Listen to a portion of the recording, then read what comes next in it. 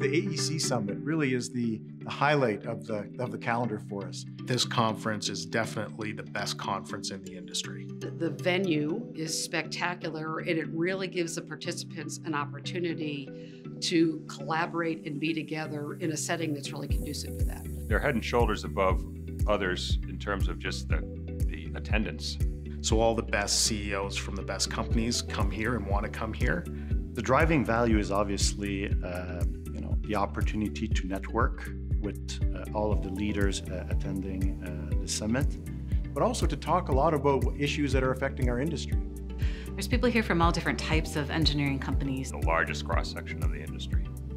The real relevancy of what's presented is really second to none. Uh, the insights are tremendous and I always learn something.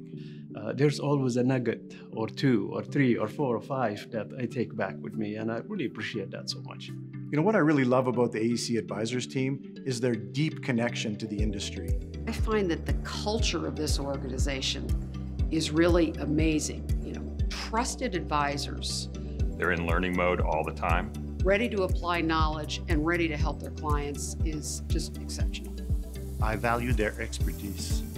They come with uh, a lot of experience. There's a lot of trust that has been built uh, between us, and that trust transfers to this conference.